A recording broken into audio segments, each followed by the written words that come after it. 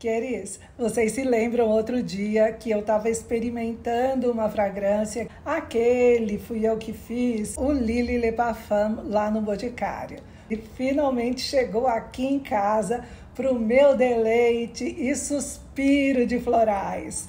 Bom, vocês sabem o quanto eu amo florais e o Boticário também. Por isso, este é um dos meus preferidos da atualidade, um floral buquê branco. O Lily Le Parfum trouxe florais brancos com muita intensidade jasmim, tuberosa, narciso e gardênia. É de uma intensidade a flor da pele, literalmente. O que você vai sentir é uma saída um pouco brilhante, cítrica, mas já floral. O floral é muito, muito intenso aqui. E esse floral é essencialmente branco. Mas dentre as flores, entre o jasmim, o narciso, a que eu mais sinto é a gardênia.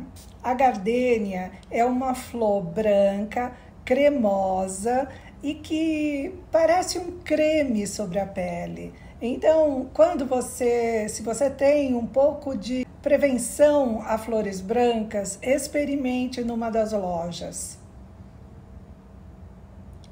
intensa, maravilhosa.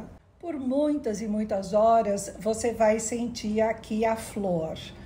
A floralidade, é claro, se você tiver mais sensibilidade a jasmim, é o que você vai sentir, ao narciso. A minha sensibilidade maior aqui está na gardênia, na cremosidade da flor, das flores, porque é um buquê floral branco e de fundo ela tem sândalo. O sândalo é a madeira mais cremosa e talvez a mais feminina também da perfumaria. Por isso combinou muito bem aqui no Lily Le Parfum.